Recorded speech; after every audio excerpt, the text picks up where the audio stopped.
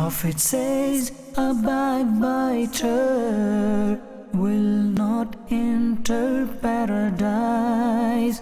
Prophet says, Abide by her will not enter paradise. الحمد لله رب العالمين والصلاة والسلام على سيد المرسلين أما بعد فأعوذ بالله من الشيطان الرجيم بسم الله الرحمن الرحيم الصلاة والسلام عليك يا رسول الله وعلى آلك وأصحابك يا حبيب الله الصلاة والسلام عليك يا نبي الله وعلى آلك وأصحابك يا نور الله My dear Islamic brothers and viewers of Madni channel Sheikh Mujaddiddin Firozabadi alayhi rahmatullahi al-hadi has stated that when you sit in a gathering, recite Bismillahir Rahmanir Rahim wa sallallahu ala Muhammad. Allah Azza will appoint an angel that will protect you from backbiting. And when you rise from that majlis, that mahfil, that gathering, at that time also recite Bismillahir Rahmanir Rahim wa sallallahu ala Muhammad. Allah Azza will order that angel to keep others from backbiting against you. Subhanallah. Sallu ala al-Habib sallallahu ta'ala ala Muhammad sallallahu My dear Islamic brothers and viewers of Madani channel. In the previous episodes, we were discussing this grave sin of backbiting. When we meet another Muslim, we greet them with salam. And in the books of hadith, it is narrated that the rationale being that one should have the intention that the Muslim I am giving salam to, his dignity and respect, amongst other things, is within my protection. And our pious predecessors, they instilled a Madani thought process that we should be the protectors of the honor, the dignity, and respect of our brothers and sisters. One Muslim should be the guardian of the honor, respect, and dignity of another Muslim. We should stand up for the rights of others. We should be the ones who are there to fight their corner. When it's a Muslim brother being backbitten or slandered, we were the ones who were to stop that. Yet, sadly, in these trying times, things have almost turned on their head. Today, the very people that were indoctrinated with this concept of stopping this disease of backbiting, unfortunately, have fallen into the trap. And today, Muslims spend their time gossiping, tale telling, backbiting, and even seeking opportunities to humiliate other Muslims. So, the guardian of respect, the Muslim, through what he learned through the teachings of Nabi Kareem sallallahu alaihi wasallam, the one who was an embodiment of brotherhood and who was to protect the respect and dignity and honor of his fellow brothers, has now turned to the one who is looking for opportunities to humiliate his brother, his teacher, his sister, even his mother and father. Nobody is safe from him. And what an awful state of being we are in. What creatures we've become that nobody is safe from us. We have no care for other people's feelings. My feelings matter. What I perceive to be bad matters. If somebody even points a finger at me, how dare they? That is disrespect. And yet I have a license to go about hurting others' feelings without any justification? It's time to think. It is stated on page 19 of the booklet, Zulm ka Anjam, published by Maktabat al-Madinah, that the matters of rights of the people are very serious. And you're going to be held accountable for them. Hurting other people's feelings isn't something minor. And yet today, not a care comes past us. If, if a glass falls on the floor and breaks, we become upset. But we break others' hearts with impunity without even thinking about it. We make other people around us sad without even thinking about it. And they are such daring times, my dear Islamic brothers, that we don't care. And those who set out to be the flag bearers of Islam, to change the world, to change this rotten society that we're in, to change the ways of the people, to make them better people, have now fallen into the trap of backbiting and are now the cause of a lot of fighting and a lot of troubles and torments. And even the learned scholars are not free from this. In the great book written by Amir al-Sunnah Damul Barakatum al-Aliyah, Ghibat ki and backbiting, he writes that today, so-called religious scholars or the noble and the learned, who should be caring more about other people's feelings, even they have fallen into this satanic trap. And they remain oblivious to the feelings of others. My dear Islamic brothers and viewers of Madani channel, Islam was beautiful. Islam taught us to appreciate others. It taught us that their feelings mattered. It taught us that their, their dignity, their pride, their self-respect, their honor was very, very important to them. So don't hurt that. Let me give you an example.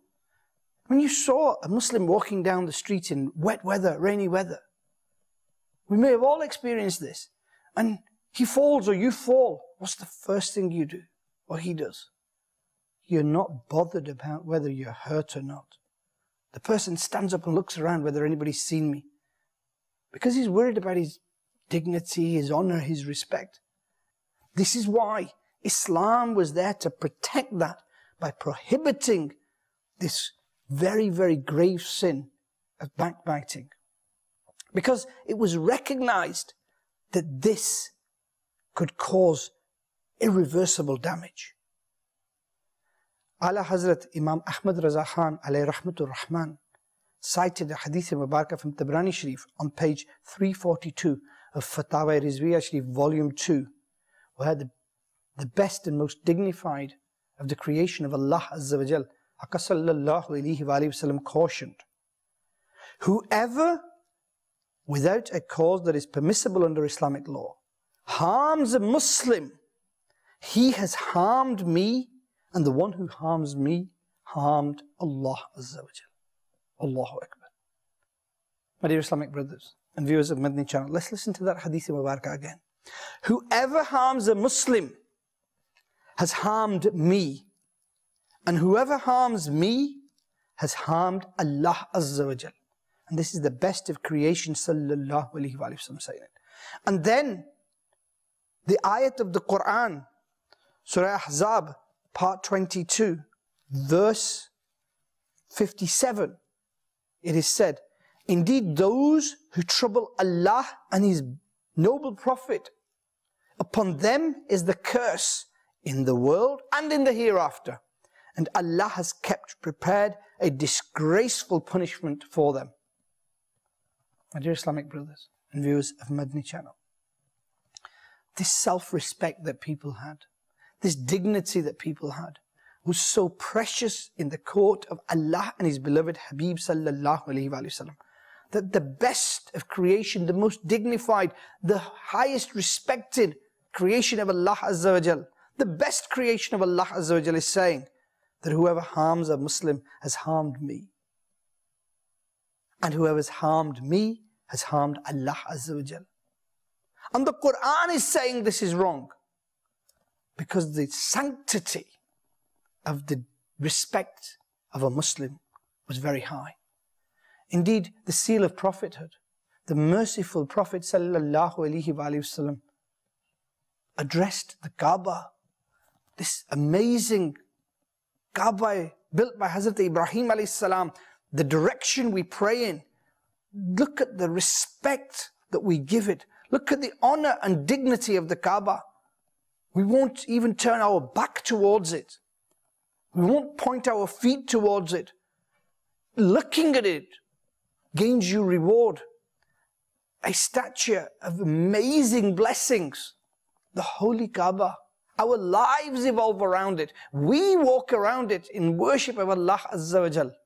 And yet, Nabi Kareem sallallahu alayhi wa sallam addresses the Kaaba and says that a moment's sanctity is greater than yours.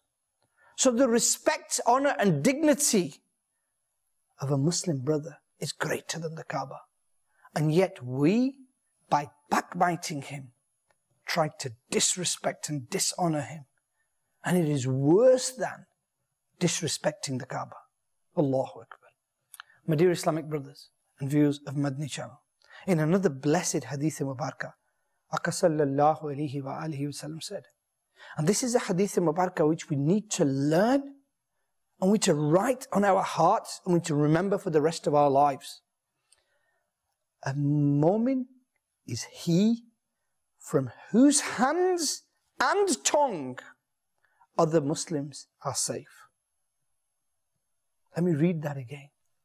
A mu'min is he from whose hands and tongue other Muslims are safe. Ask yourself, are other Muslims safe from my tongue? Or are they scared?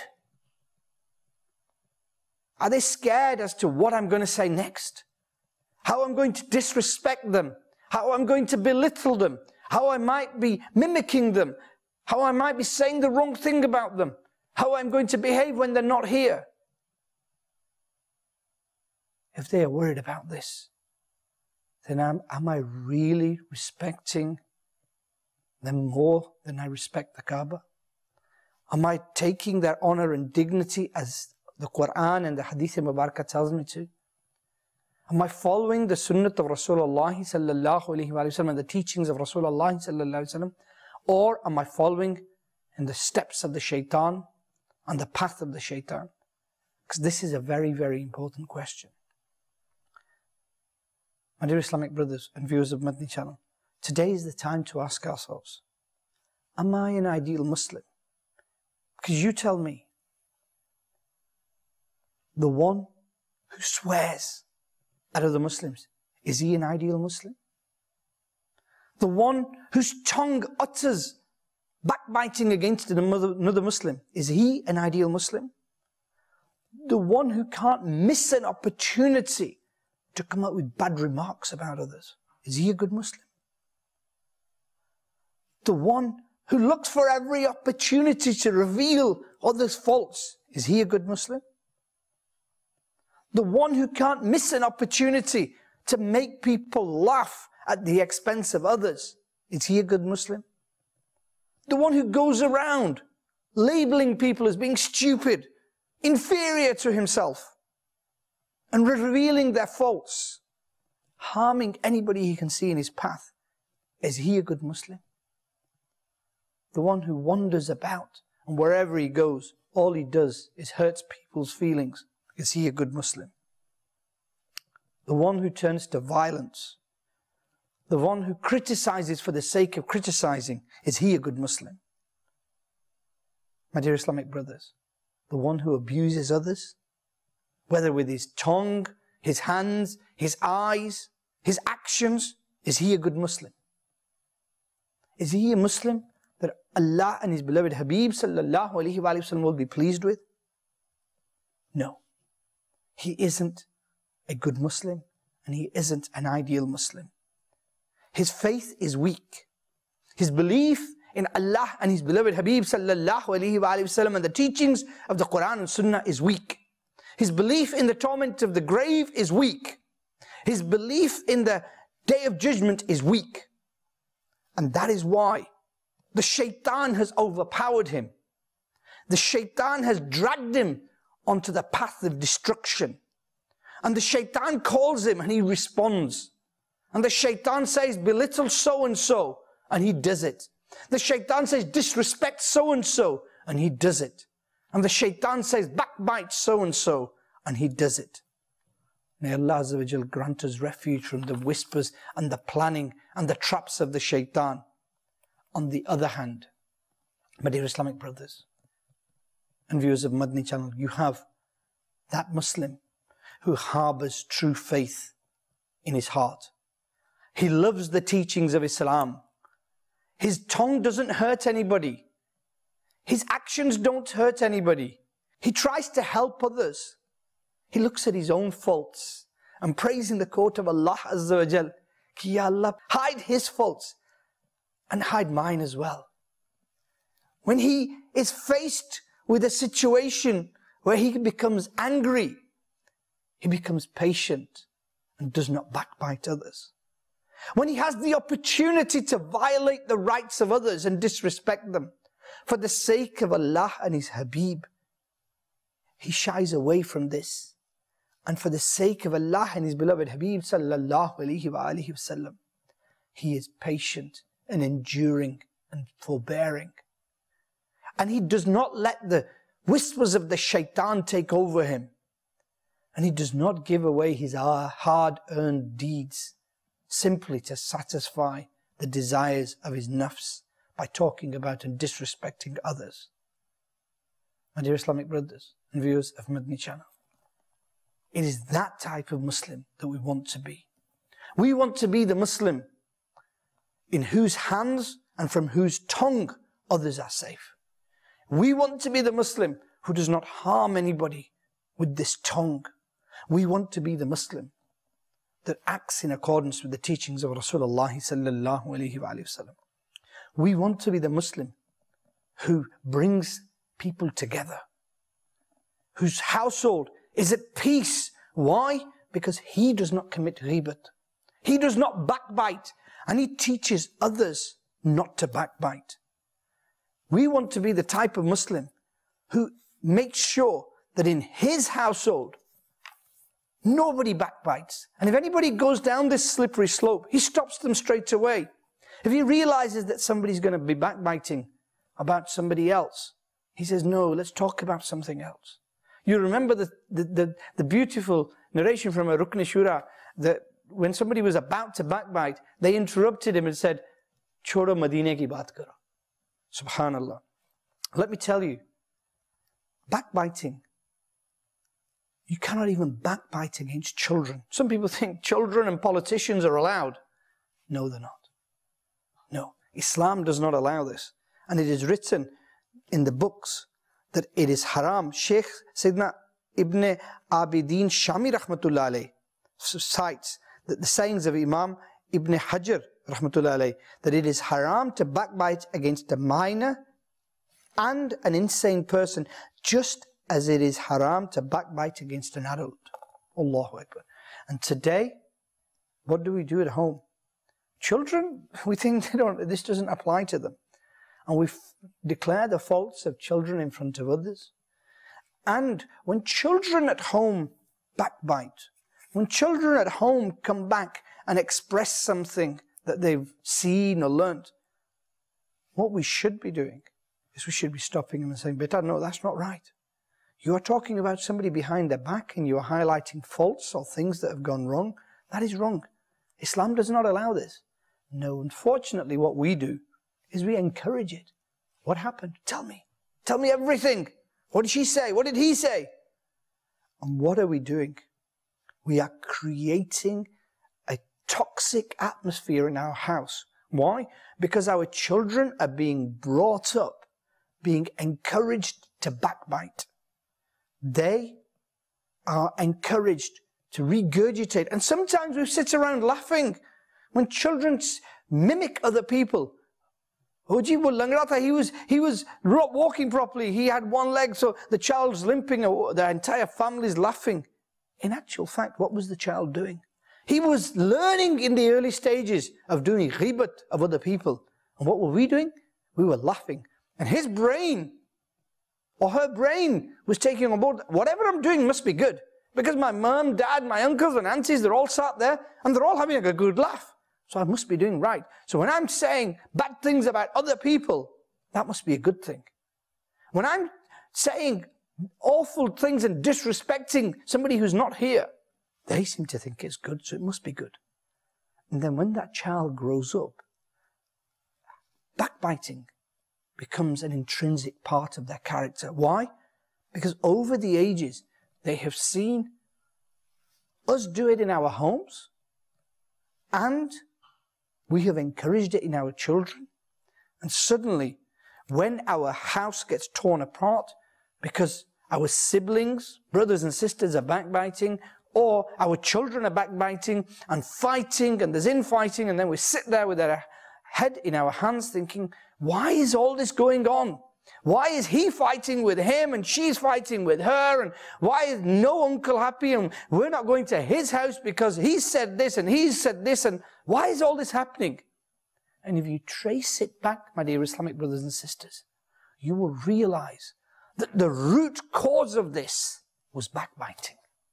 The root cause of these problems, the root cause of this fitna and fasad in our homes, the root cause of these problems and difficulties and this atmosphere of distrust, this toxic environment was created by this awful sin of backbiting.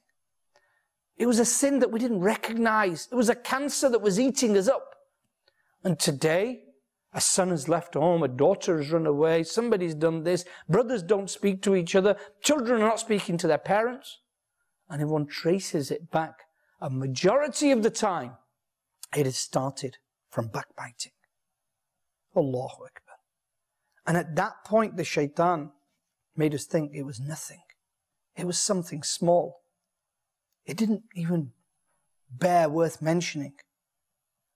And yet, from an early age, we had taught our children that it's okay to come and grass up your sister or your brother. Now, there's differences there. The scholar's right. That one thing is if a child comes to you and complains, don't rebuke him for backbiting. Because if they simply say that Fly is doing this, my other brother and sister is doing this, then do justice between the children. Call the other one, listen to both of them, and then tell them that this is what we do. Now, that isn't backbiting. But if a child comes to you afterwards and starts saying, or when you come home from work, the child comes over to you and says, uh, Abaji, during the day this happened, this person came, mum did this, brother did this, this person did this, he did this. Stop the child. Stop the child straight away. But I don't want to know. Because within what you're saying, there are some faults of others. And do you know, beta, that is backbiting? So we want to avoid that because that Allah and His beloved Habib sallallahu alayhi wa sallam have forbidden. And it brings problems and difficulties to the house and it takes away the peace and tranquility of a home and of the heart. So don't tell me about others did. Never tell me what others did. Never point out the faults of others. If there's a problem, I'm here to help you. But I don't want to know of the faults of others. What effect would that have on the child if you did that regularly? So as soon as the child starts to mention things, and you stopped him in a beautiful way, that child will grow up thinking that backbiting is really bad. And as the child grows older, the beauty and the love of Islam will spread.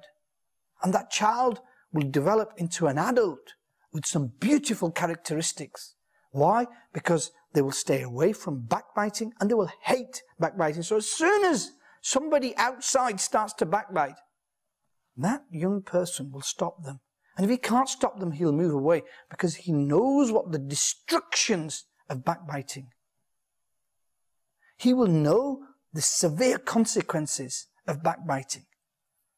So, my dear Islamic brothers and viewers of Madani channel, let's teach our children from a very early age that backbiting is haram and it is a grave sin. Don't encourage it. Indeed, in a beautiful hadith Mubarak, Aka sallallahu alayhi wa sallam taught us how to behave with our children. Sayyidina Abdullah bin Amir radiallahu ta'ala anhu said, the Prophet sallallahu alayhi wa sallam had come to our home. My mother said to me, come, I will give you something. Upon hearing this, The noble Prophet sallallahu alaihi wasallam asked her, What do you intend to give him? She said, Ya Rasulullah I intend to give him dates. Upon which the best of creation wasallam said, If you had not intended to give him anything, it would have been written down as a lie. Allahu Akbar. So today we think that with the children, it doesn't matter. And today, especially our Islamic sisters around the house, they try to talk the child into doing something by lying to them. By saying, oh, we'll buy you this, we'll do this. If you do this, if you eat this, I will do this. And there's no intention. And if one looks at the Hadith in Mubarakah, there's no intention and it's just a lie, then a lie is written, which is a serious and grave crime. Then, further still, it is a common concept in most households that they say, go to sleep or else the, the bogeyman will come, the Bigfoot will baba aa jayega. And we try to scare our children. Now, first of all, it is a lie. Then you are scaring the child, but you are lying, and once the child realizes that, what dignity and respect do you have left? And then if you are lying to the child and then at the same time trying to teach the child or commanding the child not to lie, won't the child as he grows older start to think that my parents are hypocrites? Because they encourage me not to lie, but constantly they're lying to me. And in similar vein, if you tell your child, better don't backbite, and yet you are sat in the room saying, oh, Flan did this, and you sat with the mother of your children or your brothers, and off you go backbiting. And the child will think, my father or my mother are hypocrites. Because they're telling me not to backbite, but that's exactly what they're doing. So what Amir al-Sunnah Damat Barakatum al encourages us is this. That we need to change our environment. We need to change our thinking. And we need to recognize what a grave and dangerous thing this backbiting is. And to change our environment, Alhamdulillah Rabbil Alameen, the beautiful Madani Mahal, the Madani environment of Dawat Islami helps us. If we watch Madani channel regularly, then that will help us change. It will keep reminding us of this, the, the sins that Allah and His beloved Habib sallallahu have asked us to protect ourselves from. If we travel on the Madani kaflas of Dawat Islami, then they will help keep us in good check. They will keep reminding us of the dangers of backbiting. And by being with people who are conscious of this grave sin, we will develop that fear of Allah Azza wa and this consciousness of protecting ourselves from it. And this is what a good environment does, my dear Islamic brothers and viewers of Madani channel. The more we associate with the God-fearing, the more we associate with the right people, the more we will be able to protect ourselves from things like backbiting, which destroy our deeds. More conscious we become of it, and the better equipped to deal with it we become. My dear Islamic brothers and viewers of Madani channel, toiling to gain the pleasure of Allah and His beloved Habib sallallahu alaihi wasallam, working hard day and night to try and fulfill the commands of Allah azza wa jal, is all good and it stresses the shaitan. But the shaitan doesn't sit around. He is plotting against you. And what he is hoping for is that in a moment of anger, in a moment of jealousy, in a moment of arrogance, you will fall into the trap of backbiting and you will start to slander and backbite other people and it will give him the opportunity to destroy your deeds. Let's not let him do that. Let's unite and let's recognize this grave and heinous crime of backbiting. And let's try and work to make sure that we are aware and recognize what backbiting is. We're not the ones who start to say, oh, well, it's the truth, so it's okay. We know that the definition of backbiting is to say something about a person that is true and say it behind his back. And it is such a statement which if he learnt about, he would be upset. That is the truth. Let's protect ourselves and our families from it. And let's protect our deeds and more importantly, let's protect our iman. May Allah Azza wa Jal give us the tawfiq to protect ourselves and our families from this grave cancer in our society. Ameen. Bijahin Nabil Ameen. Sallallahu Alaihi Wasallam. Prophet says, Abide by her, will not enter paradise. Prophet says, Abide will not enter paradise.